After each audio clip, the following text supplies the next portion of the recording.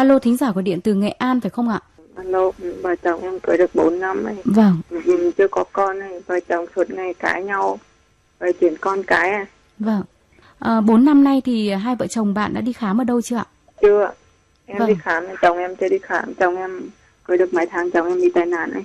Vâng. À, bạn đi khám thì bác sĩ có kết luận như thế nào ạ? Khám em bình thường. À vâng, bạn đã đi khám rồi và kết luận của bác sĩ là bình thường.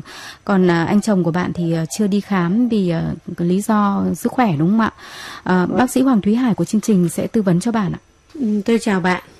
Vâng, Ừ, năm nay bao nhiêu tuổi em? em 26 ạ. 26 hả?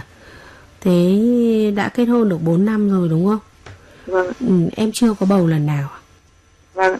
Ừ, chồng em chị chị nghe thấy nói là bị tai nạn, bị tai nạn gì vậy em? Chồng em bị à, xây nạn, à, xây- đi xây dựng, bị, bị ngã lên tầng năm xuống gì và một đổ xương sống. Ô thế à? Ừ. Thế hiện nay thì thì sức khỏe của bạn ấy như thế nào em?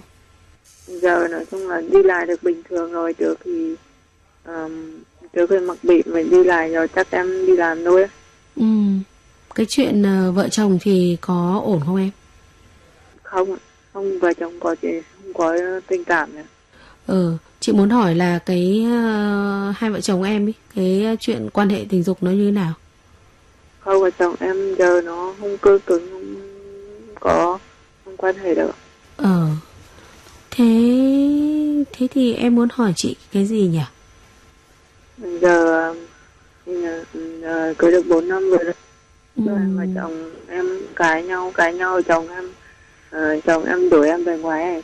Ừ. Nó bảo em bảo là đưa đơn lên bảo em à, về ký đơn về về chồng em bảo là à, chồng em viết đơn để cho em ký sau cho ừ, về rồi bảo là em viết đơn để cho nộp để chồng em ký ấy, bảo Ừ.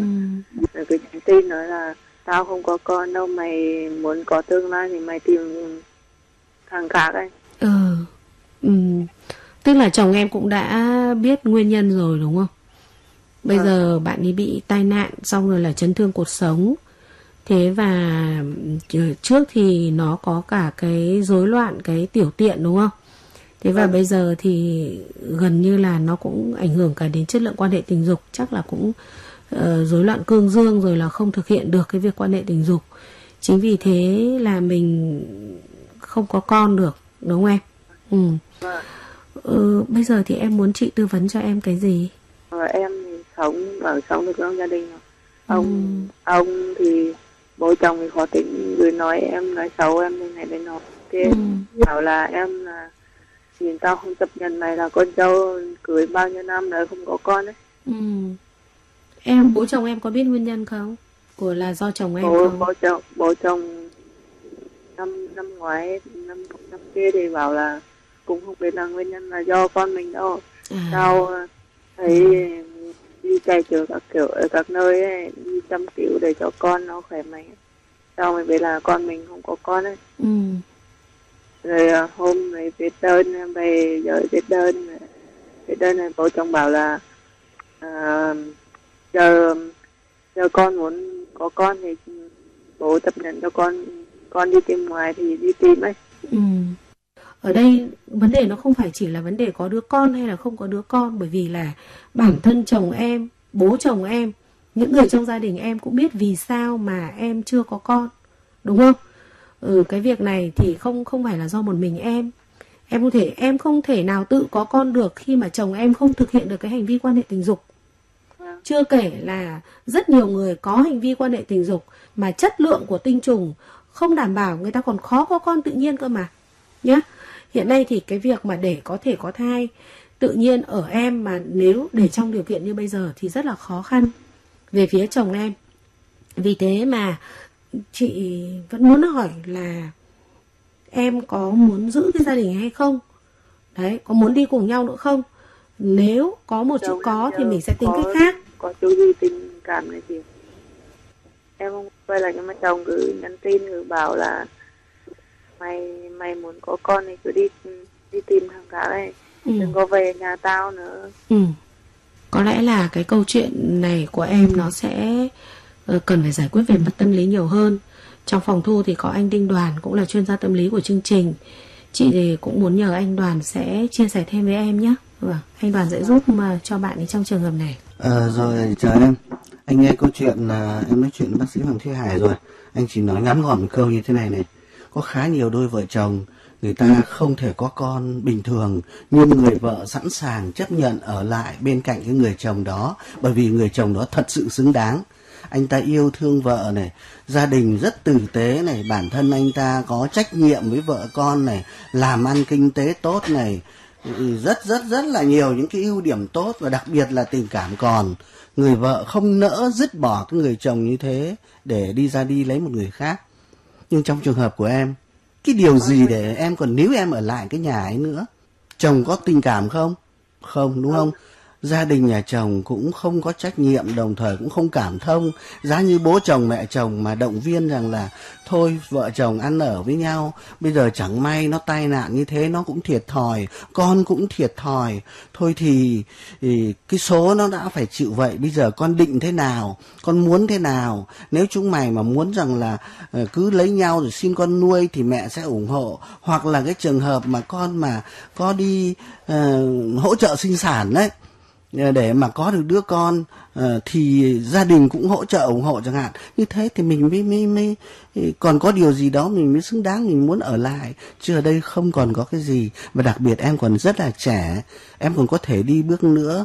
Em cứ lấn ná em cứ ở đây em chẳng có một ngày nào hạnh phúc. Rồi cái tuổi xuân nó qua đi sau này á lúc ấy đùng cái mình chỉ muốn rằng là dứt đi rồi mình không chịu đựng nữa mình đi bước nữa. Tuổi nó quá đi rồi nó lỡ cho mình nhé thế còn ừ. thì không ai muốn là cái rơi vào hoàn cảnh nó khổ như thế này nhưng mà ít nhất thì cũng phải tự cứu lấy mình trong cái cái hoàn cảnh của em này nhé vâng cảm ơn những lời tư vấn của anh Đinh Đoàn. Cảm ơn bạn đã gọi điện tới chương trình chúc cho bạn sẽ vượt qua được hoàn cảnh của mình. Alo thính giả của điện từ Nam Định phải không ạ? Vâng ạ.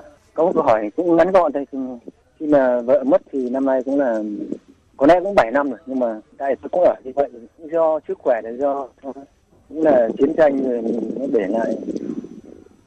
Kinh tế các thứ này là cũng, cũng chưa đi bước nữa. Vừa vâng. rồi thì có một cái cô trong nghệ an thì bạn bè giới thiệu là yêu, yêu cầu tôi vào là gặp cô đấy. Vâng. thì cô hiện nay là có một một con gái một con rể và hai đứa cháu. Thì xong tôi cũng bảo là tôi con ấy ở vậy nuôi con cũng yên thế đi bước nữa thì sẽ là cô ấy khổ. Thế là thế rồi cô cũng nhất trí vâng. và rồi cô cũng bảo là không biết có đủ can đảm về với anh không. Sau rồi là một thời gian sau thì cô ấy yêu cầu tôi vào gặp cô ấy. Vâng. thế bảo chỉ cần anh vào gặp. Nếu mà không thành bạn đời bạn cũng được mà chỉ gặp nhau một sống trong vòng tay một ngày thấy khó quá. Cũng khất lần và gần đây thì cô cứ gọi điện. Cuối cùng thì cô bảo là thế nay mai thì em chết anh có vào không? Tôi bảo là nếu mà sống thì không vào được chết thì còn ý nghĩa gì vâng. thì tôi cũng không không thể hiểu được mà bây giờ mà tôi chỉ mong ờ, một cái lời khuyên Vâng, bây giờ thì anh cũng ờ, có tuổi rồi nhưng mà lại cũng có tình cảm với một cô bạn gái và anh cũng còn băn khoăn không biết là nên như thế nào vâng. trong cái mối quan hệ vâng, này. Vâng, vâng. anh Đinh Đoàn chuyên gia tâm lý học của chương trình sẽ tư vấn cho anh ạ. Vâng. Vâng, xin chào anh. Vâng, vâng, vâng. Anh ơi, năm nay là anh bao nhiêu tuổi rồi? Năm nay bước vào tuổi 70.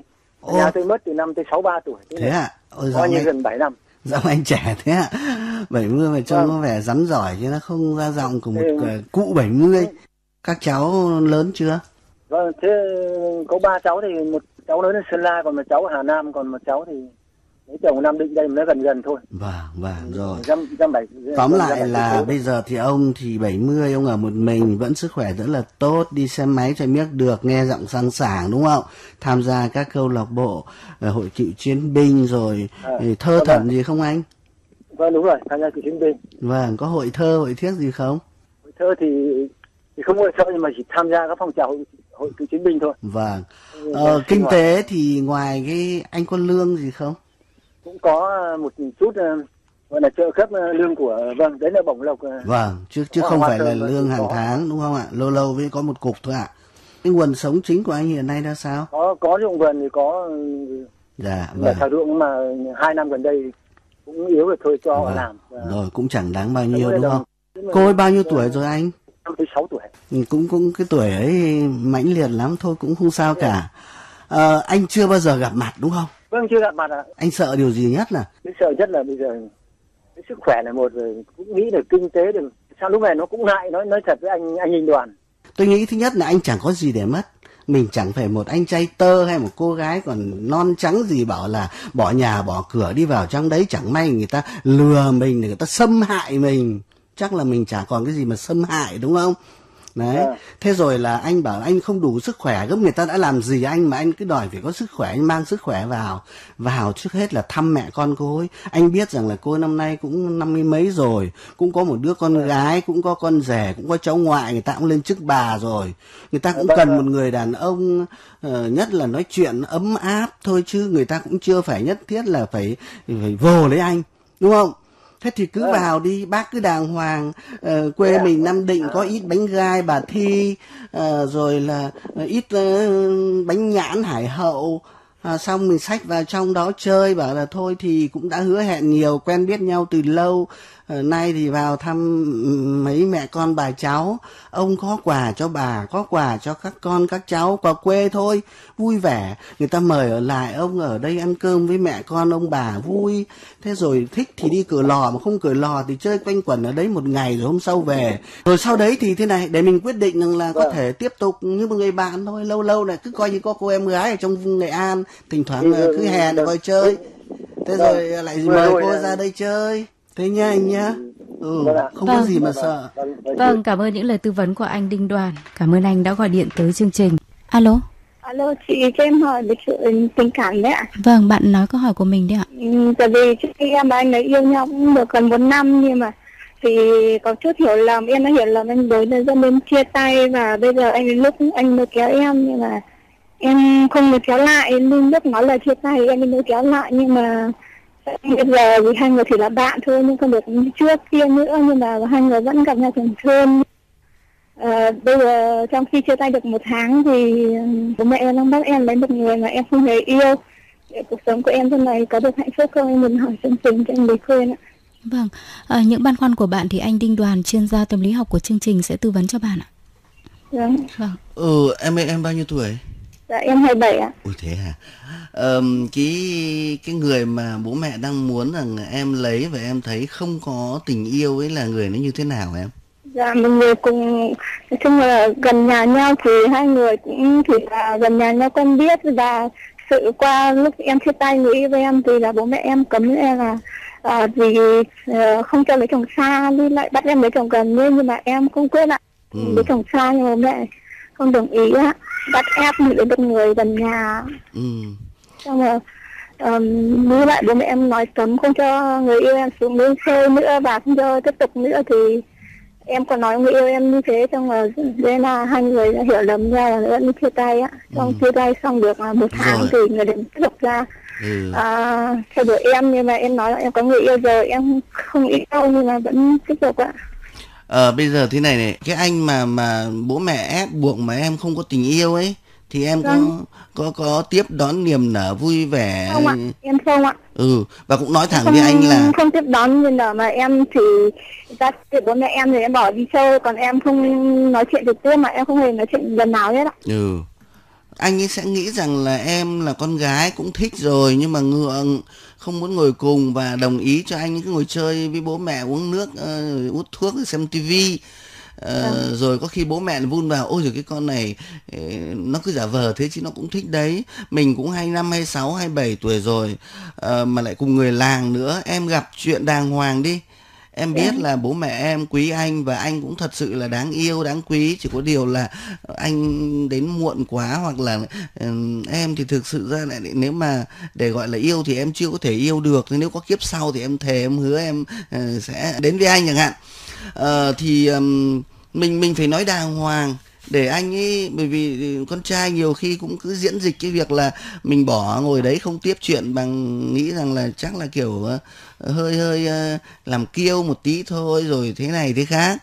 Anh hiểu lầm nó nó nó ấy là ờ, thì chưa giải quyết được vấn đề với người yêu mặt thì lại có người mới đến tấn công lại cũng cứ để yên như thế rồi em sẽ bối rối đứng ở giữa ngã ba đường. Rồi đến lúc mà mình không đủ sự bình tĩnh và tỉnh táo thì mình không quyết định gì thì buông xuôi mà lúc ấy thì lại phải đành theo nghe theo cái uh, lời sắp đặt cái sự sắp đặt của gia đình thôi. Thế thì Vâng. em nói với cái anh mà em không yêu rằng là không yêu đi. Em nói em lành tránh rất nhiều nhưng mà không được anh ạ tại vì lúc thì bố mẹ em, cả anh chị bố mẹ bắt ép nên là em không đồng ý. Vẫn tiếp tục không ai bắt ép và em không đồng ý thì không ai làm gì được. Ờ, chỉ sợ rằng thứ nhất là em không rõ ràng. Ờ, cái thứ hai là cái cách mà thể hiện của mình nó chưa đúng. Ờ, em không phải tác động của bố mẹ cũng không phải nói gì với người thân của nhà mình mà nói ngay với cái anh ấy. Một người đàn ông con trai người ta có tình cảm với ai người ta cũng mong muốn phải được đáp lại. Nếu em nói thẳng rằng em không có ờ, tình cảm hiện nay em đang có mối quan hệ với người này người nọ người kia và cũng hy vọng anh đừng đến để cho bố mẹ em lại cũng cứ hy vọng thì ờ, vào anh rất là nhiều chẳng hạn. Nói như thế đi thì ờ, người mà có tự trọng người ta biết là người ta đâu phải là hèn kém gì tưởng là là là không ấy thì mới đến hy vọng để mà ờ, xây dựng mối quan hệ. Còn nếu không người ta cũng còn có chỗ khác đúng không? Thế thế thì ừ, gọi là thu xếp được cái vụ mà ép mà mình không muốn ấy xong rồi thì bắt đầu mình có thể tập trung vào cái việc xem cái mối quan hệ với cái người cũ ra làm sao. Có thể là cái người chồng tương lai của em cũng chẳng phải là cái anh người yêu cũ mà cũng không phải là cái anh cùng làng đang đến bây giờ mà còn ở Vâng. đâu đó chưa xuất hiện. Ờ, nếu nói như các cụ là cái duyên cái số thì không phải nhưng mà ừm, cả hai mối quan hệ này nó đều có những cái ừm, không thuận lắm về mặt uh, tâm lý cũng như tình cảm uh, một bên thì ờ, bản thân em cũng chưa hết sức nhiệt tình và anh kia thì hơi một chút thì là hiểu lầm hơi một tí thì tự ái. Cái chuyện mà bố mẹ nói rằng là không muốn lấy chồng xa thì đấy là bố mẹ uh, bố mẹ bày tỏ cái cái cái suy nghĩ của bố mẹ. Thế còn mình muốn làm cái khác thì mình phải có cái sự chứng minh và thể hiện rằng là nhiều người cũng lấy chồng xa cũng vẫn có hạnh phúc rồi xa chúng con cũng vẫn có thể quan tâm đến bố mẹ. Và anh kia không phải là thấy thế lại lại bỏ đi hay là dỗi dằn gì với người yêu mà lại càng phải thể hiện mình là người xứng đáng hơn. Đó thì nó phải có cách của nó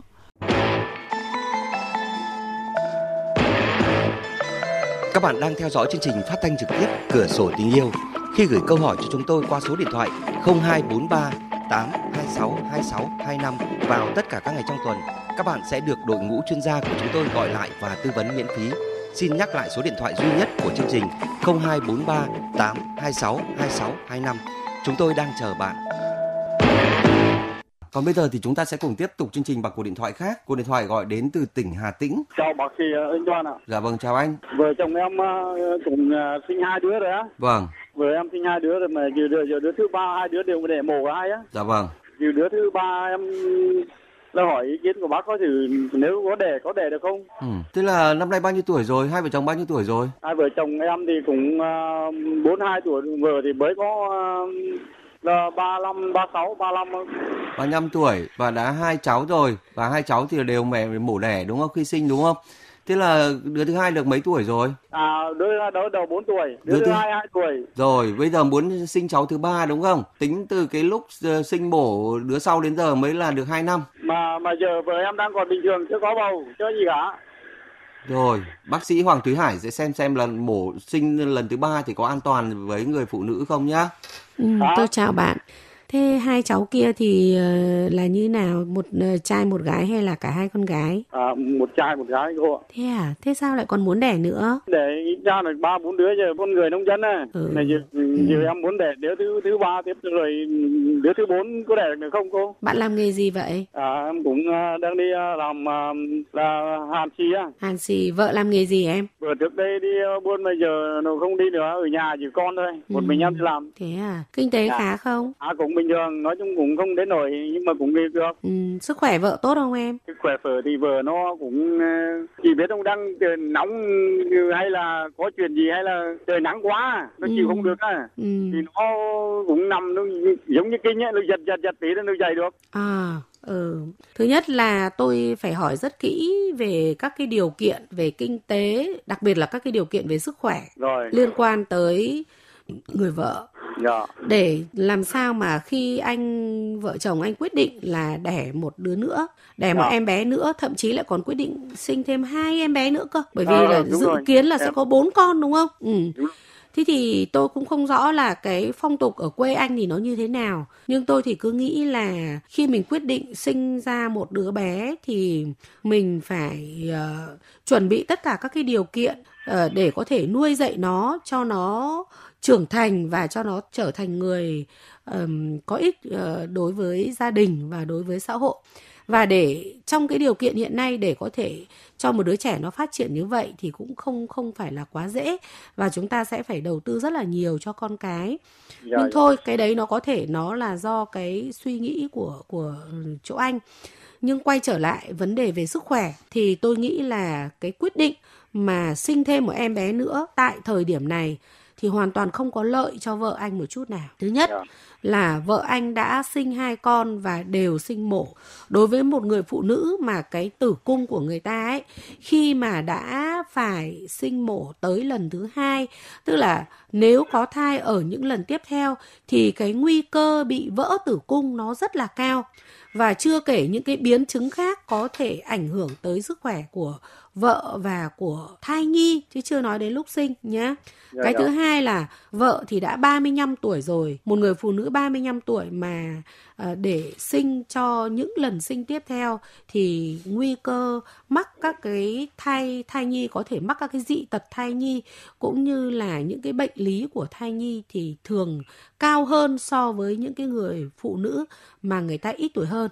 Thứ ba nữa là vừa mới sinh 2 năm lúc này thì cái vết mổ ở tử cung ấy ạ cái cái vết ờ, rạch rách ở tử cung khi mà mổ bắt thai của lần hai này nó hoàn toàn chưa liền hẳn. Chính vì thế nếu lần này quyết định có thai ở thời điểm này thì sẽ ảnh hưởng rất nhiều tới sức khỏe của vợ. Nguy cơ có thể uh, không an toàn cho vợ và cho con là rất cao.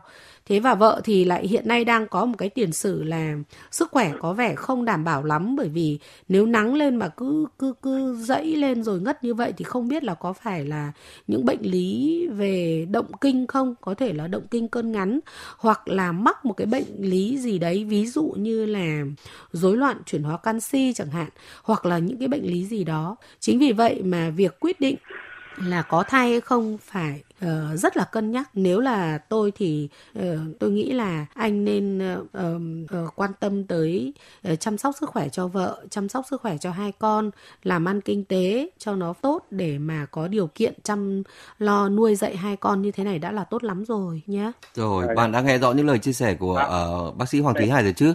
Và hy vọng là bạn sẽ lo hơn cho cái sức khỏe của chính người vợ mình và là chính mẹ của hai đứa con trai và gái của bạn bây giờ. Chúng ta sẽ cùng chuyển sang cuộc điện thoại khác được gọi tới từ Bắc Giang. Alo, thính giả của điện từ Bắc Giang phải không ạ? Alo, đây tôi. Vâng, chào chị. Câu hỏi của chị là gì thế ạ? Tôi năm nay năm tư, còn anh ấy thì năm sáu. Thế thì đã có năm đứa con, ba đứa thì là học xong đại học. Rồi còn đứa thứ tư là đang học đại học nữa, 5 năm rồi. Vâng. Thế và một thằng con trai thì đang học lớp 6. Thế nhưng mà bây giờ, tức là từ tháng ờ, tư tháng năm nhà bắt đầu ông mắc vào bệnh. Cái cái chuyện là quan hệ ngoài luồng với một Vâng. cô. Thế mà mẹ con tôi thì đã làm đủ mọi cách là khuyên can, ngọt, có nhạt, có phân tích phải trái rồi con xây dựng gia đình, có rể của cháu ngoại rồi. Thế nhưng ông vẫn không nghe.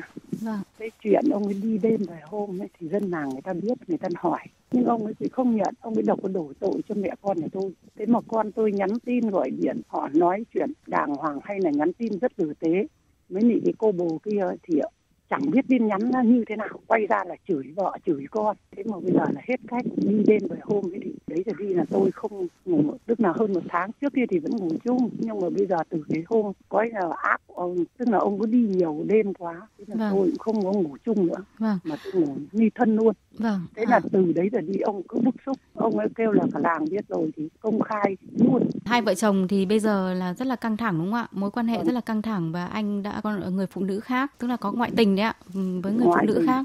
Từ tháng 4 tháng 5 đến bây giờ cũng là 6 7 Dài rồi. tháng. Vâng. À, và hiện nay thì chị rất là buồn lòng không biết là sẽ giải quyết cái chuyện gia đình của mình như bây thế giờ nào. nghĩ đến hai đứa con thôi hai Vâng. đứa con là chưa xây dựng gia đình những cái thứ Vâng. hai nữa là như này tôi muốn ông ấy quay về thì là tất cả đều vừa qua cho thế con cái thì ông ấy chửi thế thì con nó tức nó không có bây giờ những tin nhắn ảo trên mạng ấy nó chửi con kia thì ông cứ về ông đổi tội cho vợ con nick thì nó mượn nick giả nó đến nó nó chửi tức là cô này cô cặp bồ quá nhiều Vâng. hai có, có hai đứa con thì lại hai loại chồng mới lại cặp đến sáu bảy thằng Vâng. đến chồng tôi là thứ tám thứ chín Vâng, rồi người phụ nữ này cũng rất là phức tạp. Vâng, anh Đinh Đoàn chuyên gia tâm lý học của chương trình sẽ tư vấn cho chị xem là à, chị cần làm gì à, trong lúc này chị nhé. Rồi, xin chào chị ạ. em chào anh ạ Ừ. Câu chuyện của mình thì à, tôi nghe rồi. Mình đánh giá thế nào về cái mối quan hệ giữa ông xã với cái cô kia? Đây là mèo mỡ hay là quyết định là lấy cô ấy rồi về bỏ vợ con để Anh sống ạ. chung với cô kia? em bảo thế này đã nhiều lần em bảo là nếu mà cảm thấy gia đình này không cần thiết đối với anh với con mà mẹ con em mà không có trong lòng anh ấy, thì à, anh cứ làm đơn em ký để cho hai người đến với nhau công chính danh thuận chứ mẹ con em cũng không ngăn cản Rồi. thế ông ấy kêu là ông không bỏ thế Ừ. anh đoàn ạ em lại như thế này này. Lích ảo ở đâu nó cũng cưới con nhà người ta ấy, thì năn nộn ra đi mời đi mọc rồi đi bao nhiêu ngày rồi đưa đón nhau. Thế cứ lúc nào cũng bảo là nó ốm ờ, đau nó bị ung thư đại tràng giai đoạn cuối. Nhưng mà nào có phải đâu vẫn khỏe.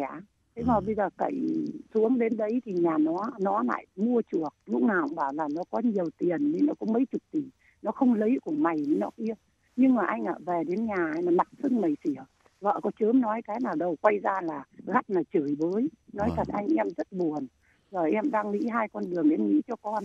Cứ như thế này âm thầm mà chịu để nay mai con cái nó trưởng thành. Hay là lúc về già hay chán nhau rồi quay về.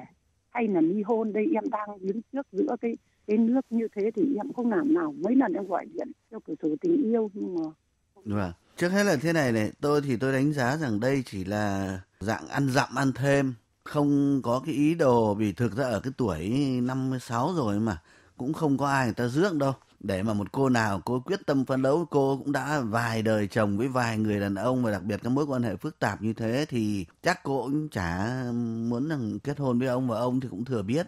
Có điều rằng họ đến với nhau chắc là chỉ vì món tình dục thôi chắc cô kia cô cũng có nhiều kỹ năng cô cũng có giỏi giang. Đến đây cô ấy chiều chuộng cô khác hẳn với mình là cuộc sống vợ chồng. Mình cũng năm tư năm nhăm rồi nó sẽ không thể làm được như cái cô kia. Cô đấy năm nay 48 rồi anh thế à? Mà em nói chắc- thật với ừ. anh như thế này này quan hệ tình dục đến em năm tư tuổi nhưng nói thật là em vừa hết mãn kinh năm ngoái thôi. Rồi. Còn cái chuyện mà để đòi hỏi cái tình dục nói thật là em vẫn ham muốn vâng. mà em vẫn làm tình tốt và à. nói thật với anh này em vẫn có cái sự thèm muốn rồi vâng. chắc cái kia nó lạ là thôi ừ. cái Rồi, tức, dài- tức là không phải là ở nhà em đói không- mà phải đi em không đi khô ráp. ừ. nói thẳng luôn ấy em vẫn có đáp ứng đủ nhu cầu một tuần hai ba lần em Rồi. vẫn chiều được đấy đấy thế nhưng như thế thì chắc là nó lạ thôi ờ, không thì để ý muốn nói mình mình trước ờ, một cái vụ việc gì mình xác định cái cái, cái mức độ nguy cơ ờ, gọi là của nó mà thì ở đây đánh giá là cái nguy cơ mà về đánh đập vợ con rồi ruồng dẫy vợ con đuổi đi để đưa cô kia về rồi lấy thì là không có chỉ là đấy cứ thỉnh thoảng lại rẽ xuống rồi ăn dặm ăn thêm ăn vụng ăn trộm thế thôi Thế còn thì ờ, mình mới hỏi rằng thế thì bây giờ đặt ra mấy phương án là ly hôn, ly thân hay là như thế nào ấy thì trước hết mình phải loại trừ từng trường hợp này. Ly hôn để làm gì? Ờ, con mình thì vẫn đấy, nhà mình vẫn vậy. Ông ấy thì về thì về, trả về thì thôi. Ly hôn bây giờ tự nhiên hoặc là mình ra đi hoặc là ông ra đi. Thế xong nếu cái nhà lại chia đôi hai ba đứa con thì bây giờ chúng nó lớn rồi mấy cái thằng đại, đại học với lại tốt nghiệp đại học thì chắc người ta không chia đâu mình lại nuôi một cái thằng cu lớp 6 thế là cứ hai mẹ con còn ông thì thoải mái rảnh rỗi ông ấy đi cuối cùng thì chả giải quyết được cái gì mà cuối cùng thì mất hết đúng không thế còn à, gọi là ngồi đấy đợi đến bao giờ ông ấy chán ông về thì thật ra cũng khó biết bao giờ ông chán mà rồi ông chán cô này ngộ như ông là bập cô khác thì mình hóa ra mình chịu à kinh tế nhà mình thì bây giờ chủ yếu dựa vào đâu ông có phải là người làm ra tiền không mẹ con có làm gì để sống độc lập không nói thật với anh là em thì làm đồng ruộng ừ. còn kinh tế thì chủ yếu là ông ấy nắm quản Ừ. Ông ấy làm em- gì mà nắm quản? Ông ấy có làm cái gì mỗi tháng là vài chục triệu ấy đi buôn đi bán gì không? Em nói ra thì em được sợ người ta biết thôi Ừ. Nhưng mà thực tế là nhà em là có ô tô chạy hợp đồng rồi cái tiền ông chạy thì nó gửi vào trong tài khoản của Của ông ấy. hợp đồng đúng, rồi. thế giờ trong cái tài khoản ông mở ông ấy đưa đồng nào trước Thì kia biết đồng đấy. ông ấy đưa đồng nào từ ngày vợ chồng giận nhau cãi nhau đà thế là tháng này rồi ông tuyên bố ông bảo ông không cho tiền ừ thế là em cũng chỉ có nằm lông có đồng nào em tiêu đồng đấy thôi chứ rồi. còn em em cũng không không quan trọng. Còn nếu mà bây giờ mà nếu mà những đứa đại học mấy thằng kia không nuôi thì có ba đứa con nó học đại học đấy. Bây giờ nó bảo là nếu mẹ mà bí bách quá mà bố mà như thế thì để chúng con thêm tiền rồi chúng con cho mẹ cuộc sống hàng ngày ừ. một hai triệu. Chứ cũng không để cho mẹ phải đói mẹ thêm làm ruộng làm nương nữa. Ừ. Thế thì em cũng đang là cái cái cái nước đấy. Em nói anh đoàn như này là em cũng hay mất ngủ khi em biết được cái chuyện này em thấy em quá sốc lớn bởi vì từ trước đến giờ em vẫn tin tưởng mà em nói thật em đặt niềm tin quá lớn. Khi em phát hiện ra cái thật nói em từ trên rời rơi xuống vực thẳm em không ăn không ngủ được rồi em gầy rộc nhưng giờ đến giờ này em vực lại được tinh thần. Ừ. thì thôi đấy nó là sự thật mình phải chấp nhận. Và bây giờ mình phải sống tốt cho mình cho bản thân mình chăm chút đấy cái cái câu câu cuối cùng ấy là hay đấy. Vâng. Ờ, bởi vì rằng là ờ, không ai ta thương mình thì mình phải tự thương mình. Bây giờ con Vâng. nó lớn mà đặc biệt nó cũng có kinh tế và nó đã hứa rằng nó hỗ trợ. Tôi thì tôi nghĩ rằng mình cái vướng mắc nhất vẫn là cái thằng cu lớp 6 thôi. Còn nếu không là mình vì 54 tuổi còn trẻ còn khỏe mình đi làm đi. Đã Vâng, thế là đúng. bỏ mặc nhà đấy. Ông có thích thì ông đi đi. Nhà đấy ờ, ông đứa con thì tôi ra hà nội tôi làm thì tôi lên phú thọ tôi đi việt trì đầy việc Ờ, đi thứ nhất để cho nó khuây khỏa, hai nữa mình có cái ừ, thu nhập độc lập, hai nữa là mình mở mang cái đầu óc mình ở nhà. Bây giờ mình rảnh rỗi mình cứ ruộng nương thì không cấy nữa, cứ ngồi đấy. Đấy, chắc hôm nay là đi chạy xe xong lại về chỗ con ấy làm rồi. Chắc bây giờ lại đang làm gì đây? Chắc thích lắm đây. Trời rét thế này mà chúng nó làm nhau mà mình thì làm không, nghĩ nó ức lắm. Thế nhưng mà đi làm đi, nó cuốn vào công việc. Hàng tháng để mỗi tháng 5 triệu 7 triệu 10 triệu. Thế xong rồi mình vững chãi rồi, mình chả cần gì, chả gì. Xong thỉnh thoảng mình có về mình lại thấy mình son phấn lại váy vóc tưng bừng lên á có khi là chính lão lại phải ghen lại còn đi lôi mình về ấy, đúng không? Thế còn hiện nay là cứ ngồi đấy xong là ờ, là trông đợi ông ông cứ bón cho tường đồng rồi xong không cho ờ, nếu mà nói thì ông lại cắt viện trợ ờ, giống như kiểu như là là là ông chủ như vậy thế thì không được mình mình mình không đến nỗi mà bây giờ bây giờ mình ốm đau quạt kẹo nằm đấy không thuốc không men và ông cũng không quan tâm bây giờ mình quá khổ cơ. Chứ còn để mình thấy là người rất nhanh nhẹn mà qua trò chuyện thấy minh mẫn thông minh ấy mình đi đi làm đi. Anh ơi em bảo như này nhá em thì em đang làm công tác xã hội Ừ. cơ. Rồi. Bây giờ là chưa hết một khóa nhiệm kỳ. Hội phụ Em nữ hay là trưởng thôn em làm trưởng thôn. Ồ à thế hả? Em là nói thật em nói là dân cũng nghe. Mọi Ừ. em nói mọi người là tin em lắm. Rồi Tính khổ cái này như thế. Bây giờ em nói thật anh này em đã định đi thế rồi. Em xin cực nhiều công ty rồi. Em đã xác định đi rồi thế nhưng mà nói thật anh nhá đi như thế này thì thằng cái thằng học lớp sáu này em sáng ai no cơm cho nó? Đấy ừ. Chứ thế ai thế bảo cái lo nhất là thằng cu lớp sáu. Tối đến Ừ. thì mình phải ngồi đấy kèm không may mai con có hàng đống tiền nó tệ nạn xã hội thì anh ơi tiền để làm gì? Rồi. Đấy bây giờ bốn đứa con gái mà một một con trai bây giờ được một con trai rồi bây giờ mình lại bỏ bê nó thế mà thằng đấy nhà em này nó lại học quá giỏi luôn nó lại Ờ. nhạy cảm học giỏi lắm anh ạ. Thế hai cái thằng cu lớn thế nó có nói được bố nó không? Bốn đứa con gái một thằng con trai bốn đứa con gái đầu À. vâng. Thế Thế thế mấy cái cô- con gái cô có nói được bố không? Cô con gái lấy À. chồng rồi ấy. Các cô con gái có chồng nói ngọt rồi cũng không được thế nhắn tin cho cô kia nói ngọt ngào với cô là thôi giờ cô như thế thì cô cặp với cái người cùng hoàn cảnh cô ấy còn bố cháu là có gia đình rồi lại có vợ con rồi. Cô buông tha biết nhắn, nhắn tin như thế nào quay ra là chửi con bố chửi con luôn. Rồi. thế là con kia thì nó cũng biết nó lên tận nhà em rồi nó cũng biết nhà em có gia đình rồi. Ừ. nó cũng quay ra là nó làm cho nó tan nát hết anh ạ. Đấy thế nó chủ bảo định là nó làm cho tan nát. Cái đối tượng mà người ta đã gọi là thiếu cái tự trọng thì Ừ, mình cũng đúng chả rồi. thể dùng cái ngọt ngào để mà dạy dỗ răn khuyên được. Thế cho nên mình mà chọc vào tổ kiến đôi khi là kiến nó lại quay ra cắn mình mà Đấy. cơ bản nhất là lỗi tại người nhà mình cơ. Cô kia có có thế nào chăng nữa mà người nhà mình cứ lao đến thì cũng chả làm gì. Thế còn khi mà ông ấy cải tà quy chính ông thấy ông quay trở về thì cô kia có kéo thì ông cũng chả trở lại được.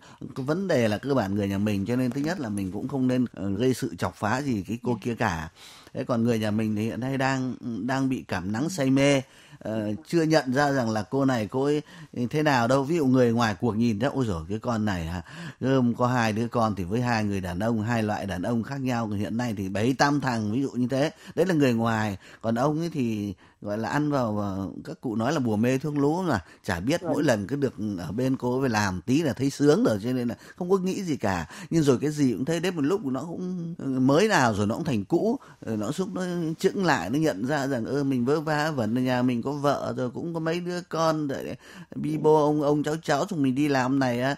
Rồi con cháu nó giận rồi mai kia ốm đau nằm đấy mà vợ nó không chăm con nó không chăm cháu nó không chăm nữa còn lâu cái cô kia cũng mới chăm. Có những lúc có những người người ta có dại mãi rồi, có lúc người ta bừng tỉnh, người ta nhận ra, thì có thể là sẽ thay đổi. Còn về phía mình thôi, cái bình tâm không dứt ra đi được ấy, thì à, mình à, ngoài cái công tác xã hội làm trưởng thôn nó xem xem là có người thì đi làm công ty, sáng đi tối về thế mà cũng công ty à, khu công nghiệp mà gần gần đấy chẳng hạn. Không có nghĩa là phải cách đi đi thoát ly mà sáng đi tối về. Mục đích là để mình có cái cuộc sống độc lập ừ, về tài chính. Cái thứ hai nữa là nó cũng khuây khỏa vui vẻ ấy mà, nhá anh ơi em hỏi anh một câu như này. Ừ. ví dụ như bây giờ anh bảo em như thế nhưng mà em nói thật với anh này em không phải là là cái con người ngu đần. Nói thật với anh này em cũng biết. Trước khi bắt đầu vấp vào em cũng phân tích hết cho là bây giờ vợ con như này đánh đổi quá lớn bằng thì lại con cái thì nó trưởng thành học hành giỏi giang con thành đạt. Đứa nào nó cũng quý bố vì cái gì đến tháng lương lương thì chúng nó cao học đại học ra nó cao thì nó mua cho bố cái nọ cái kia nó quý lắm. Khi em phát triển ra em bảo với con thì em không đứa nào nó tin nó còn mắng em không ra gì. Rồi. nhưng mà bây giờ bắt đầu nó về nó mới biết. Thì nó can không được. Thì anh bảo nó như thế nào?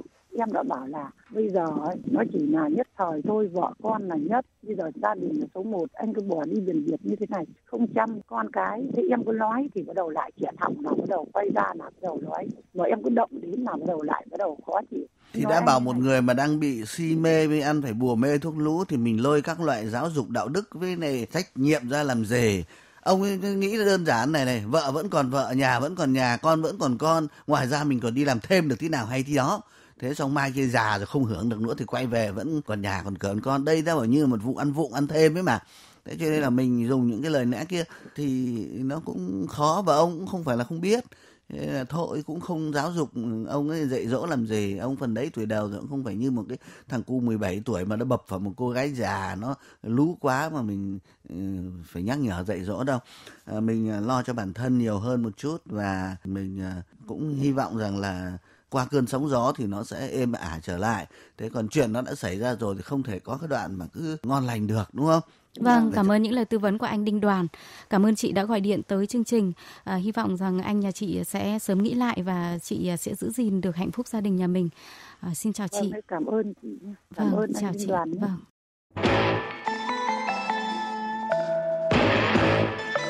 Các bạn đang theo dõi chương trình phát thanh trực tiếp Cửa sổ tình yêu. Khi gửi câu hỏi cho chúng tôi qua số điện thoại 0243 826 26 25 vào tất cả các ngày trong tuần, các bạn sẽ được đội ngũ chuyên gia của chúng tôi gọi lại và tư vấn miễn phí. Xin nhắc lại số điện thoại duy nhất của chương trình 0243 826 26 25. Chúng tôi đang chờ bạn. Vâng, à, chúng ta sẽ cùng tiếp tục chương trình ngày hôm nay bằng cuộc điện thoại được gọi tới từ Đắk Nông. Alo, thính giả của điện từ Đắk Nông phải không ạ? Dạ vâng ạ. Vâng, chào bạn. Câu hỏi của bạn là gì thế ạ? Em chào chương trình. À, câu hỏi của em có hai câu hỏi. Một là em quan hệ xong thì ra một ít huyết ở cái tinh dịch ấy và sau cùng là một khoảng độ hai giọt máu. Thế mới câu hỏi thứ hai là vợ chồng em hay cãi nhau á, suốt ngày 25 ngày trên một tháng thì em nên làm gì ạ? Vâng, cái hiện tượng mà bạn quan hệ tình dục với chồng xong rồi ra máu ấy thì là nó lâu chưa và lần nào cũng thế hay như thế nào ạ? Dạ nó chỉ ra một lần duy nhất cách đây khoảng 2 tháng thì sau hai chục hôm em đi khám rồi ạ. Vâng, tức là hiện nay thì bạn có hai vấn đề về sức khỏe và về uh, tâm lý đúng không ạ? Uh, vâng ạ. Trong phòng thu thì có bác sĩ Hoàng Thúy Hải thì uh, sẽ tư vấn cho bạn về vấn đề sức khỏe. Còn về tâm lý thì anh uh, chuyên gia Đinh Đoàn sẽ có những cái chia sẻ với bạn. Uh, xin mời dạ. bác sĩ Hoàng Thúy Hải uh, sẽ có những cái tư vấn cho bạn trẻ ở Đắk Nông ạ. Vâng. Uh, chào em. Dạ vâng em chào chị. Năm nay em bao nhiêu tuổi rồi em? Em năm nay 55 tuổi ạ. 55 á? Vâng. À thế à, ô thế sao giọng mình trẻ thế nhỉ? Ừ. ờ, thế mình làm nghề gì vậy? Em làm nông thôi chị. À làm nông à? Thế ông xã thì bao nhiêu tuổi mình? Ông xã em ít hơn em một tuổi cũng làm nông ạ. À năm tư. Ừ. À. tại vì uh, ban nãy mình cũng nghe câu chuyện của bạn với cả chị Huyền lại thấy uh, 55 tuổi mà một tháng thì có 30 ngày thì cãi nhau 25 ngày Vâng. thế mà vẫn uh, quan hệ tình dục được thì cũng giỏi ấy, nhỉ Thì bắt Ừ. buộc cũng phải thế để sống. ờ Ờ, mình đã mãn kinh chưa em mãn kinh độ ba bốn năm rồi. à ba bốn năm nay rồi Vâng. cái lần mà quan hệ sau khi quan hệ tình dục mình thấy nó có ra máu hay là cái phần mà thông thường khi quan hệ tình dục mà nam giới người ta xuất tinh vào trong đạo của mình thì ờ, sau một thời gian 5 10 phút nửa tiếng gì đó thì có thể sẽ có một chút dịch nó chảy ra ngoài ấy. thì mình Vâng. thấy cái máu ở cái dịch chảy ra ngoài đấy hay là mình thấy xuất huyết ở âm đạo của mình Dạ cái lúc mà khi cái tinh dịch 5-10 phút nó ra thì em thấy lẫn lẫn ở đấy hơi đục đục ngà ngà của huyết xong rồi có độ hai giọt ừ, máu nhìn thấy luôn á. À, thế mình đã đi khám chưa? Em đi khám sau 20 ngày ạ. Ừ, thế thì bác sĩ bảo sao? Bác sĩ nói có bốn kết quả nhưng em không hiểu là có bệnh gì không nhưng mà Ừ. không cho em uống thuốc đâu. Ừ, thế bác sĩ nói có bốn kết quả là gì? Kết quả một là bình thường không sao và kết quả thứ hai là có nhân sâu loại 4 Ừ, gì nữa? Mấy lại một kết quả là cổ tử cung teo nhỏ và em thấy đề chữ là N84.1 đó. À, Cái thứ tư á là thấy có một cái vệt trắng ở cái cổ tử cung á. à thế hả? Thì cho em uống thuốc nhưng mà em đọc cái thuốc đấy chỉ có là bổ máu và bổ sung sức khỏe thôi. Ờ, mình đi khám ở bệnh viện nào đấy? Ở bệnh viện Từ Dũ nói chung là bệnh viện ấy cũng nổi tiếng đấy bác. Đúng rồi, ừ, từ rũ thì yên tâm rồi. Thực ra của mình có hai vấn đề. Tức là khi mà mình quan hệ tình dục mà nó xuất huyết mà nó chảy ra ngoài theo cái dịch ý, thì nó có hai khả năng. Một là cái xuất huyết đấy, tức là cái cái máu ấy, nó có thể từ chính của cổ tử cung của bản thân mình. Và cái thứ hai nó có thể xảy ra là từ cái tinh dịch của ông xã bởi vì khi ông xã có vấn đề gì đấy mà liên quan tới cái ờ, cơ quan sinh dục của ông ấy mà nó xuất huyết thì khi ông ấy quan hệ tình dục với mình và ông ấy xuất tinh vào âm đạo thì cái dịch nó chảy ra nó có thể có máu. Thế thì cái hiện tượng có máu đấy là nó có thể xuất phát từ cả hai người chứ không phải là từ phía mình. Đấy là việc thứ nhất nhé ừ. thế còn quay trở lại thì hiện nay ấy, đối với mình ấy, mình là 55 tuổi rồi và cái khám sức khỏe là cái niêm mạc nó đã teo rồi. Thì cái teo này nó là do mình mãn kinh thôi. Và mình đã bước sang cái giai đoạn ờ, mãn kinh thì các cái niêm mạc nó rất dễ bị như thế. Thế và đấy cũng là một trong những cái nguyên nhân mà làm cho mình có thể khó khi mà mình có quan hệ tình dục Vâng. và cổ tử cung có thể bị sang chấn hoặc là bị tổn thương khi mà mình có quan hệ tình dục nhất là niêm mạc đã teo nhỏ rồi là các cái dịch sinh dục nó không tiết ra ấy thế Vâng. thì nếu như mà mẹ nó mà khi quan hệ tình dục mà thấy đau hoặc là rát đấy và trong một số trường hợp mà nhất là khi mà mình không muốn ý, ờ, mà mình vẫn phải thực hiện cái việc đấy thì nó rất dễ bị cái tổn thương thì mình có thể dùng thêm các cái sản phẩm hỗ trợ ví dụ như là các cái sản phẩm để bôi trơn ý. Đấy Vâng. hoặc là làm mềm cổ tử cung của mình ra để mình cho mình hạn chế những cái sang chấn nhất là chồng lại kém mình một tuổi nữa. Tôi sợ là những cái hành vi quan hệ tình dục của đồng chí ấy mà nó nó nó thô bạo ấy hoặc là Vâng. nó nó nó không phù hợp với cả cái cổ tử cung của mình thì mình rất dễ bị như vậy. Cái cái thứ hai là mình nên theo dõi 6 tháng một lần cái cổ tử cung của mình bởi vì nó có những cái vết này rồi là ở cái tuổi như của mình thì rất dễ bị ung thư cổ tử cung. Thế và hiện tại có thể bây giờ thì thấy rất là tốt. Một lần xuất huyết như thế thì cũng chưa phải là đáng lo ngại lắm. Nhưng nếu lần thứ hai mà xảy ra thì cả hai vợ chồng đều phải đi khám kể cả ông ấy cũng phải đi khám. Và cái chính là mình phải tự chăm sóc sức khỏe cho mình nhé mình ờ, tìm hiểu thêm những cái ờ, sản phẩm để nó có thể bổ sung cái estrogen tự nhiên ý đấy rồi là những cái sản phẩm hỗ trợ để mà mình quan hệ tình dục nó không bị tổn thương. Và cái thứ ba nữa là mình phải rất cần được tầm soát ung thư cổ tử cung ít nhất là 6 tháng một lần nhé. Vâng, vâng. Chị em hỏi tí cái chỗ xét nghiệm sinh học phân tử thì nó đề là không tổn thương, không có biểu mô của ung thư thì mình có lo cái chỗ phần teo không chị? không thế là tốt rồi ờ, teo là ai cũng sẽ bị thôi khi mà mình đã mãn kinh ý estrogen Dạ. nó không còn nữa thì ờ, đấy là một cái hiện tượng sinh lý bình thường À thế ạ, vâng, Ờ, em nhá. cảm ơn. Ờ, thế còn các cái vấn đề liên quan tới tâm lý mà nói thật là 55 tuổi mà một tháng có 30 mà ngày mà cãi nhau 25 ngày thì thật sự là tôi thấy mình cũng rất là vất vả ấy. Nhá, Vâng, thế mình vâng. sẽ chia sẻ thêm với anh Đoàn xem có những cái gì giúp cho mình không nhá. Vâng, rồi, cảm ơn. ờ, rồi xin ờ, xin chào chị. Dạ, em chào anh Ừ. Đoàn. Rồi, công nhận giọng trẻ thật đấy cơ. Mình mấy cháu mấy con bà nội bà ngoại chưa? Dạ, em có hai cháu ngoại và có ba đứa con ạ. À ba đứa con hai cháu ngoại rồi. Bây giờ có phải nuôi đứa nào bé bé không? Dạ, có một đứa năm nay mới lớp 9 ạ anh. Thế, à? Thế xong rồi kinh tế gia đình ổn định không? Ông có đi đâu xa hay là cứ hai vợ chồng suốt đời ở bên cạnh nhau quấn quýt vậy? Anh ơi thì làm nông suốt ngày ở nhà nhưng mà chồng em thì ra trưởng này bảo thủ và cố chấp và hai nữa lại nghiện rượu anh.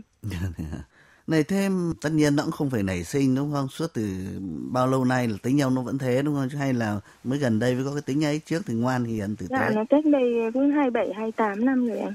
Ôi ôi, thế thì năm nay năm tư năm nhăm à, lấy nhau Em định bỏ đứa con đầu tiên của em từ năm lớp 4 nha. sao thế? Định ly hôn từ lúc À, bấy giờ Ôi nhưng mà, thế mà rồi không cũng nghiến răng cố chịu được 27 năm, bây giờ ông năm mấy rồi đúng không? Từ con thì 32 rồi. Nếu như người ta cười người ta bảo thôi gớm đã chịu được suốt 27 năm rồi cố thêm đi chục năm nữa. Bởi vì đến lúc này già rồi không còn hơi mà cãi nhau nữa đâu. Nói đùa như vậy nhưng mà thường thì cứ cãi nhau về cái gì? Bởi vì cãi nhau thế nhưng rồi cũng vẫn vui vẻ, vẫn đi làm. Đôi khi có những đôi vợ chồng gọi là khắc khẩu mà. Cứ không nói thôi chứ nói nhau bất cứ cái gì cũng cũng có thể gây sự và cãi nhau. Nhưng mà rồi qua cái cơn đi, đi lại ăn, lại ngủ, lại mọi thứ nó cứ ổn định bình thường. thượng cảnh chân hạ cảnh tay. Thế rồi em giận dỗi em cũng có lúc em mềm có lúc em à, nóng em cũng oánh nhau. Thế nhưng mà cũng chẳng được cái gì. Xong lại vẫn như thế. Thôi oánh nhau không được cái gì thôi chả oánh đâu ngộ nhớ ông quá tay ông ấy là thế thường thường ví dụ như là kể một vài cái vụ trong tự nhiên làm sao lại để cãi nhau đang ngồi quay ra cãi nhau là ngủ riêng cũng cãi nhau mà đi lâu lâu thì cũng mày theo thằng nào rồi nấu À. rau hơi nhiều cũng bị mắng chửi Ừ. thế thôi ừ, ừ, ừ.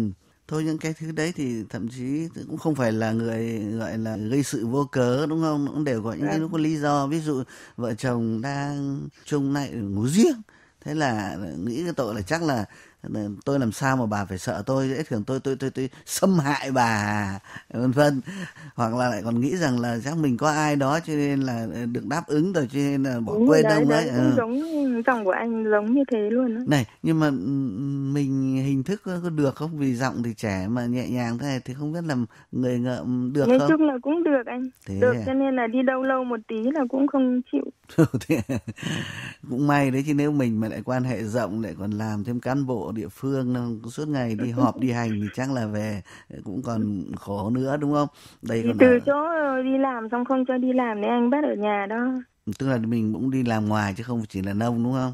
Thế Vâng. nhưng mà không cho đi và đi ngồi nhớ lại nguy cơ lại mất đấy kìa thôi nói thế chứ cũng không đến nỗi quá kinh khủng. Ờ, bây giờ thì để cho nó dễ chịu ấy thì không giáo dục ông nữa mà điều chỉnh mình. Bởi vì chỉ có hai người thôi mà. Mình cứ cố gắng mình à, dạy dỗ uốn nắn ông kia nó cũng chả gì. Thậm chí đánh ông ở đây rồi cũng có được cái gì đâu. Thế thì bây giờ người ta mới nói rằng là khi mà ta không thay đổi được người khác thì ta quay về ta thay đổi mình. À, mình à, đôi lúc hài hước một tí. Ơ thế hôm nay không thấy bố nó ờ, chửi tớ nhờ. Thế xong rồi ôi lâu không đánh nhau cũng buồn tay tức là mình đôi khi cũng cứ nhìn cái chuyện này nó nó trêu chọc, nó hài hước một tí. Xong mình cũng tỏ ra ghen thay vì cứ để ông cứ ghen mình là là đi đâu lâu thế, mình cũng là khiếp đi đâu mà chắc lại đi với bà nào? Hay là chê tôi nhiều tuổi? Hay chê tôi già không đáp ứng được đi? Bây giờ chắc lại thích ờ, cô trẻ 30 40 rồi đi đâu mà bảo đi chợ mà đi hai ba tiếng? À mình cũng cứ làm thế xong ông ấy. Ờ, phản ứng như thế nào đúng không? Có lúc em cũng thế nhưng Ừ. mà thưa mới gửi xong lại đâu vào đấy anh thôi mình gọi là, là, là diễn trèo diễn tuồng một tí cho nó khuây khỏa vui vẻ thôi thay đổi được gì ở cái tuổi này nữa đâu đúng không đừng vâng. để nó xảy ra những chuyện quá lớn đừng có đấy ví dụ như là không chịu được nữa rồi ờ, đánh trong một trận xong rồi đuổi nhau khắp làng rồi cuối cùng thì gây thương tích thì cái đấy không hay thế còn thì Vâng. thôi ờ, coi như bật loa bật đài cho nó vui cửa vui nhà một tí nhưng Dạ, mà mình là dạ. cái người biết ờ, xì hơi cho nó nó nó giảm bớt cái căng thẳng ví dụ như lúc mà ông Vâng. đang điên tiết ôi hay quá nhỉ bố từ từ bố tí ờ, ngừng lại một phút để em bật điện thoại em ghi âm cái câu bố chửi câu hay quá để Vâng. em học tập ví dụ như thế thế là ông lại Vâng. phì cười ông bảo gươm cái bà này điên à ví dụ như thế thế mình Vâng. đôi khi một chút hài hước cũng có thể làm cho cuộc uh, cãi cọ nó mềm đi. Còn nếu mình cứ uh, tôi làm sao? Uh, tôi uh, suốt bao nhiêu năm nay tôi vất vả đáng lẽ thì tôi đi làm công ty. Thế mà rồi chỉ vì ghen tuông ông lại không cho tôi đi làm. Bây giờ cuộc đời tôi mới thế này. Uh, ông còn muốn gì nữa? Tức là mình cứ mang tính chất như là cô giáo mà dạy học sinh ấy thì ông ấy lại thấy khó chịu. Vâng, cảm ơn những lời tư vấn của anh Đinh Đoàn, cảm ơn bác sĩ Hoàng Thúy vâng, Hải. Cảm ơn.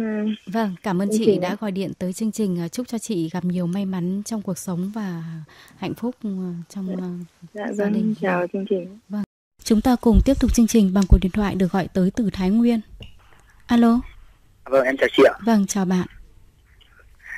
Chị cho em hỏi là em là yêu em yêu nhau và chia tay được năm rưỡi rồi ạ thế nhưng thỉnh thoảng tầm độ có có khi là 15 ngày nửa tháng hoặc là 20 ngày có hôm tháng thì cô lại nhắn tin của điện cho em vâng. cô tâm trạng cô nói là cô rất buồn và không bao giờ hạnh phúc như anh mong muốn đâu em không hiểu là cô thế nào sự chia tay rồi em nghĩ là nếu mà cô không yêu rồi thì cô phải quên em đi và tìm hạnh phúc mới đúng không chị? Vâng.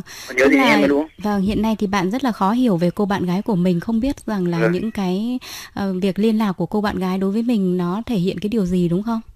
Vâng. Vâng, à, anh Đinh Đoàn chuyên gia tâm lý học của chương trình à, sẽ tư vấn và cho bạn những lời khuyên ạ. Ừ, em ơi em bao nhiêu tuổi rồi? Em 26 ạ. Ồ thế à, nghe giọng trẻ nhỉ.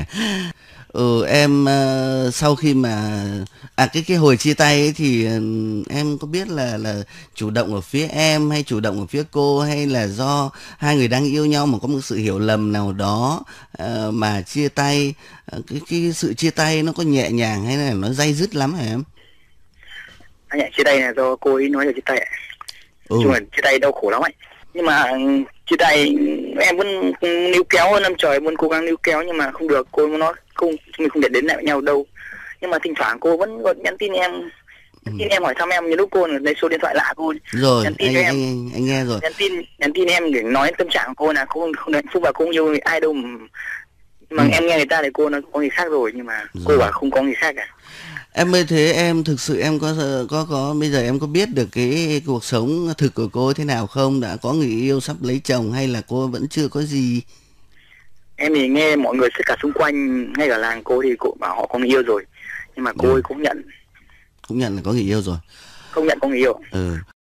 À, thứ nhất anh phải nói với em rằng cô ấy là một người hết sức bình thường. Ờ, anh đoàn cũng có một cái mối tình mà cách đây 20 năm xong rồi cũng chia tay nhau rồi. Bây giờ anh cũng có vợ mà cái cô bạn ấy cũng đang có chồng. Nhưng thỉnh thoảng vẫn gọi điện liên lạc cũng vẫn hỏi han vẫn chuyện trò kể cả đi uống nước với nhau. Hết sức bình thường. À, chúng ta không còn tình yêu thì chúng ta cũng còn tình bạn. Đặc biệt trong trường hợp của em thì khi chia tay hai người rất dây dứt có thể cô chỉ vì tự ái chứ còn không hẳn là đã hết yêu em. Thế và cái tình yêu mà không thành bao giờ nó cũng nhớ lâu lắm mối tình đầu cô ấy mà anh ạ. Ừ con cá mất bao giờ là con cá to. Mối tình mà đầu tiên mà lại không thành bao giờ cũng nhớ lâu sâu sắc lắm. Ờ, cô ấy thỉnh thoảng nhắn tin gọi điện cho em và giải bày nỗi niềm rằng là buồn rồi cũng không thể hạnh phúc với ai được nữa đâu thì có hai ý anh đoán là thế. Một là bắn tin cho em rằng là em vẫn còn yêu anh thực sự em đã thử đi yêu người này người khác nhưng mà cuối cùng không quên được anh. Thế mà nếu như anh vẫn chưa có ai thì liệu chúng mình có nối lại tình xưa được không? Tất nhiên đây là một cái câu thăm dò đấy. Nếu như mà em cũng đang cô đơn vẫn còn nghĩ đến cô và chưa có ai thì biết đâu uh, sau khi mà cô nhắn tin em lại nhắn lại rồi đôi bên cứ nhắn qua nhắn lại nhắn qua nhắn lại đến một ngày nào đó thì tự nhiên lại tìm đến nhau nó một cách hết sức tự nhiên anh cho em hỏi này ừ. quên là cô vẫn nói nhưng mà em muốn quên lại cô lại cô không muốn quên lại rồi. Thế buồn cười. Em ơi cô uh... đã điện thoại lạ cô nhắn tin em ấy. Ừ. giả vờ này hỏi thăm em xem tình hình em mấy vợ chưa mới yêu ai rồi. Ừ. anh em muốn nói thế này này uh, con người ta về tâm lý nó phức tạp lắm. Muốn vậy đấy nhưng mà khi hỏi là có muốn không thì cũng không ai nói là ừ muốn đấy. À, em phải hiểu rằng nó nó nó là một vấn đề hết sức tế nhị à, cái việc bắn tin nhắn tin quan tâm thăm dò giải bày thì cũng mong muốn là anh quay trở lại đi. Nhưng mà cũng không để lại cho anh quay trở lại một cách nó dễ dàng ngộ nhỡ anh lại coi thường. À, cho nên là cũng lại là một bước thử thách nữa. Nếu thực sự như em còn tình cảm em muốn là nối lại vẫn quay lại với cô ấy, thì à, cũng phải có lộ trình à, chứ không phải là quay lại bảo anh em có đồng ý là quay lại không thì anh mới đến chơi em có thể đến chơi lại gia đình cô ấy thăm lại cô ấy như những cái người bạn cũ ngày xưa chuyện trò tâm sự rồi cũng lại đi khơi lại từ những cái buổi đi ờ, đứng nói chuyện rồi đi uống nước rồi tâm sự ờ, rồi ờ, đến một lúc nào đó nó chín mùi về mặt tình cảm. Có khi em không tỏ tình thì cô cũng nhắc đúng không?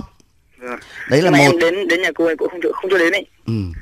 Cô gợi ý là cô sợ bố mẹ cô ấy. nói chung là tình cảm do bố mẹ cô cũng quyết định nhiều ấy. Ừ. Chuyện gì anh nhiều thế một mặt thứ hai là cô ấy cũng đấy một mặt thứ nhất là anh nghĩ rằng là cái cái gọi là bắn tin ờ, để muốn ừ, thăm dò xem có thể nối lại không. Một hướng thứ hai nữa là thật ra thì cô ấy là cái người mà ờ, sống rất là nặng về tình cảm. Hiện nay thì có thể là gia đình đã ờ, sắp xếp cho cô một cái mối quan hệ nào đó nhưng thực sự cô chưa hết lòng vì người ta. Và ờ, có thể là có người yêu rồi thậm chí sắp cưới rồi nhưng mà em là mối tình đầu là chàng trai đầu tiên cho cô ấy cảm giác thế nào là yêu đương. Ờ, cho nên có khi vẫn cứ nghĩ về em nhiều. Và cái việc chia sẻ tâm sự nhắn tin này chỉ như là cái việc giải tỏa cái nỗi nhớ những cái ờ, kỷ niệm cũ xưa thôi chứ không có ý định là ờm, câu kéo hay là ờm, gọi là muốn nối lại gì cả. Ờ, vì thực ra trong lòng còn đang ừm, gọi là phân vân À, thì um, cái này anh nghĩ rằng là không có cái gì là quá đáng về vẻ mặt giải thích thì hoàn toàn như anh đã nói rằng có thể có nhiều những cái mục đích khác nhau nhưng ít nhất cũng có thể nhìn thấy hai cái như mà anh vừa nói. Ờ, anh nghĩ rằng là em cứ vui vẻ mà trả lời lại điện thoại của cô ấy, mình làm gì đến nỗi mà khắt khe. Ví dụ như cô ấy nói rằng là bây giờ anh cũng, em rất là buồn ờ, tiếc rằng chúng ta không còn ờ, vui vẻ và chia tay. Em cũng có thể chia sẻ với cô rằng là ờ, chúng ta đã có những cái tháng ngày rất là đẹp ở bên nhau. Tuy nhiên thì có lẽ là anh em mình có duyên mà không có nợ, cho nên là không đi chung được con đường. Nhưng anh vẫn mong cho em hạnh phúc mà chúng ta coi nhau như người bạn. Nó cứ đàng hoàng thế, không làm sao cả em ạ? Nha, Vâng. thế còn khi nào cô ấy ờ, lấy chồng rồi lên xe hoa rồi thì có lẽ rằng cái mối quan hệ cũng phải duy trì ở mức độ ờ, chừng mực. Alo? Alo ạ. Vâng chào bạn. Câu hỏi của bạn là gì đấy ạ? Dạ vâng em bây giờ lại đang yêu một người con gái ờ, chị mà kiểu gia đình em thì mẹ không đồng ý ạ. Vâng. Vâng, vì cô đấy đúng là không đồng hoàng mà em thì em rất yêu cô đấy.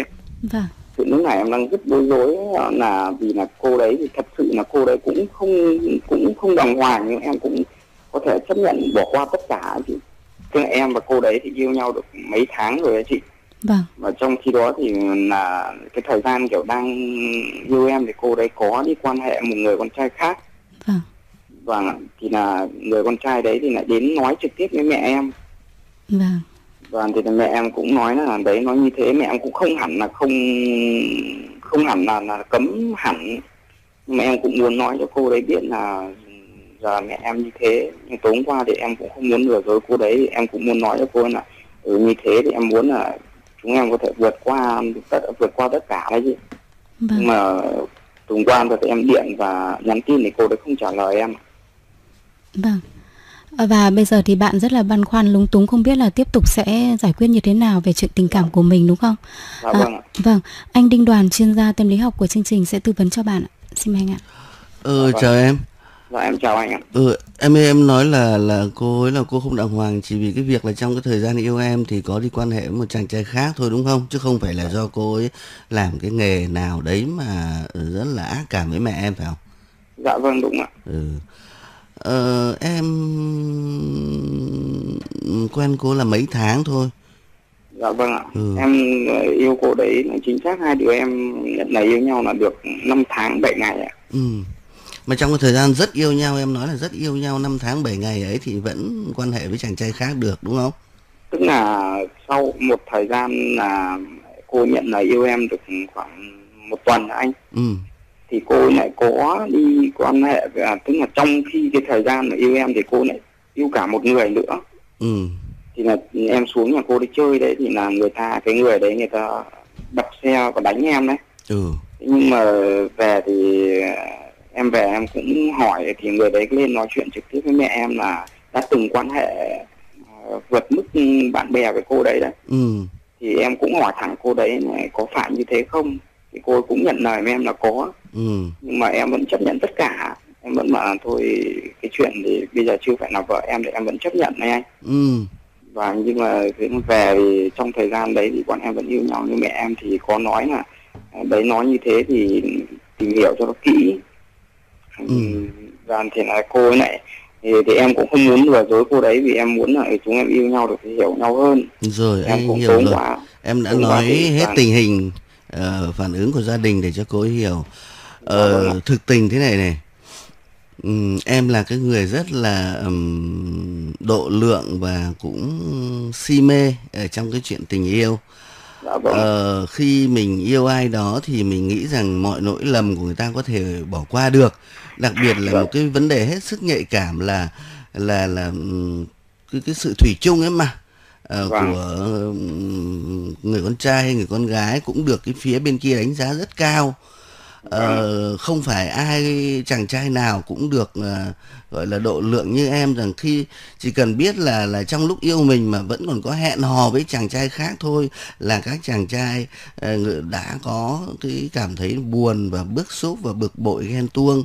Thế còn em thì ngay cả khi mình ờ, biết là họ ờ, quan hệ với nhau này, mình còn bị gây sự này, rồi là thậm chí là người ta còn tận đến nhà, người ta nói rằng người ta có quan hệ và cô cũng thừa nhận như thế. Mà em vẫn cứ bỏ qua, vẫn nói rằng là không sao cả, rồi thì phải nói rằng là em hết sức mềm tính mà không phải là ai cũng cũng được như em.